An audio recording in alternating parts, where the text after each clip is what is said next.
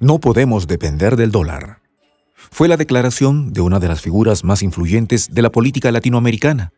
La propuesta para resolver este problema que hace décadas atormenta a la región fue sorprendente, la creación de una nueva moneda. Este nuevo proyecto regional apunta a incrementar la integración y fortalecer la soberanía monetaria de Sudamérica. El nombre elegido para la moneda en cuestión circuló masivamente. ¿Quién la anunció y cómo se llama? Los detalles de esta historia te los contamos a continuación. Quédate con nosotros.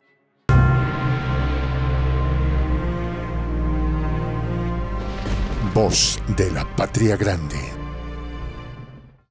En el mundo se extiende la desconfianza por el dólar, y Latinoamérica no tardó en ofrecer su respuesta y solución. ¿Una divisa latinoamericana?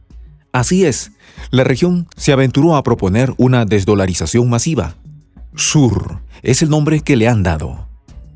En las últimas semanas se vieron diversas intenciones mundiales de crear nuevas divisas alternativas, al mismo tiempo que se llevaban a cabo diversas iniciativas para fortalecer las monedas regionales.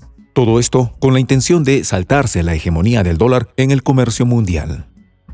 Si bien diferentes países latinoamericanos han intentado llevar a cabo este proceso anteriormente, el hecho de que esto esté ocurriendo concertadamente en diversos lugares del globo anuncia un crítico acontecer.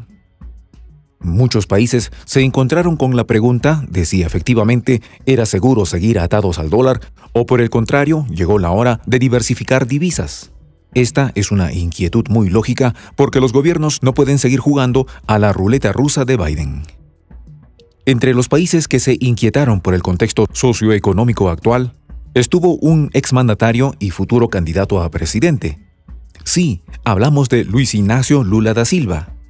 La propuesta fue sólida. Quiere crear una moneda única regional para minimizar el impacto del dólar. A menos de seis meses para las elecciones, el expresidente de Brasil y precandidato por el Partido de Trabajadores, Lula da Silva defendió este sábado la creación de una moneda única en América Latina, como parte de la ampliación de las relaciones entre los países de la región. No tenemos que depender del dólar, dijo Lula en un discurso en el Congreso Electoral del Partido Socialismo y Libertad, en el que el partido declaró su apoyo al expresidente para la votación de octubre. Esta declaración del presidente de Brasil no fue solo una expresión de deseo. De hecho, sus economistas más cercanos ya han desarrollado un plan. La necesidad de soberanía económica es un hecho para Lula. Como se mencionó, la nueva moneda digital sudamericana se llamaría SUR y sería emitida por un Banco Central Sudamericano, con una capitalización inicial realizada por los países miembros proporcional a sus respectivas participaciones en el comercio regional. La capitalización de Sur sería con las reservas internacionales de los países y o con un impuesto sobre las exportaciones de los países fuera de la región. La nueva moneda podría utilizarse para los flujos comerciales y financieros entre los países de la región. Además, los países miembros recibirían una dotación inicial de Sur según reglas claras acordadas y serían libres de adoptarlo a nivel nacional o mantener sus monedas.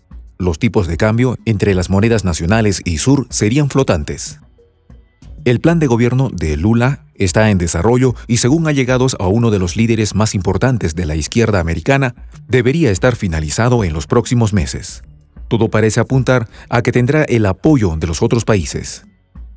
La idea de una moneda única latinoamericana es defendida por el economista Gabriel Galípolo, expresidente del Banco Fator, quien ha colaborado con el programa de gobierno de Lula.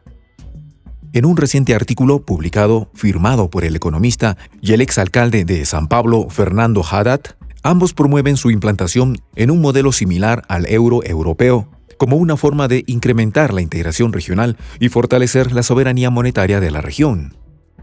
En tanto, Lula terminó de ratificar el proyecto en caso de ser electo presidente. Vamos a restablecer nuestra relación con América Latina. Y si Dios quiere, crearemos una moneda en América Latina, dijo ante miles de militantes.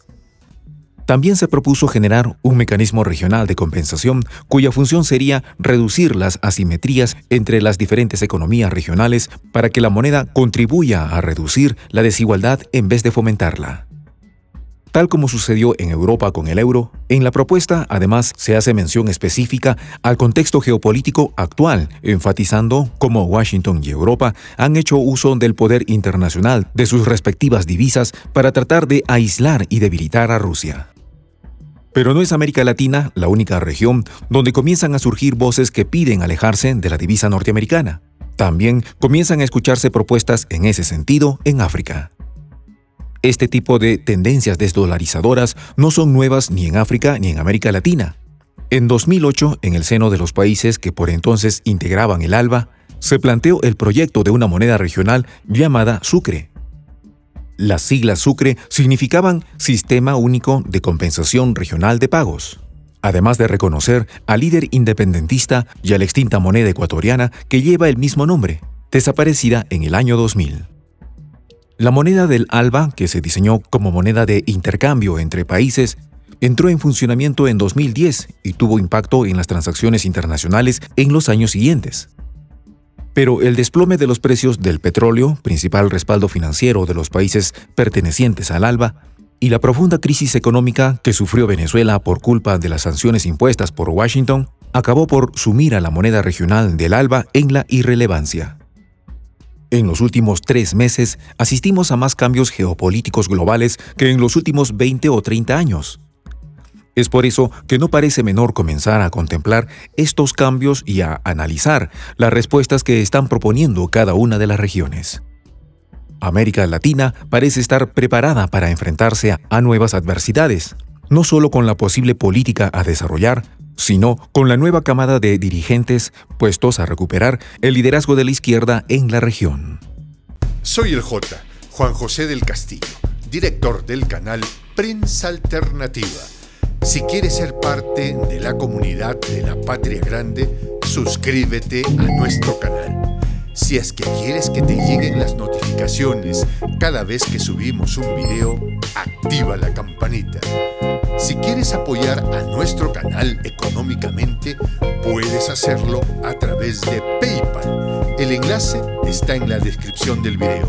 A nombre del equipo de prensa alternativa, me despido con esta expresión en el quechua milenario, Tupananchis Kama, cuya traducción es hasta volvernos a encontrar.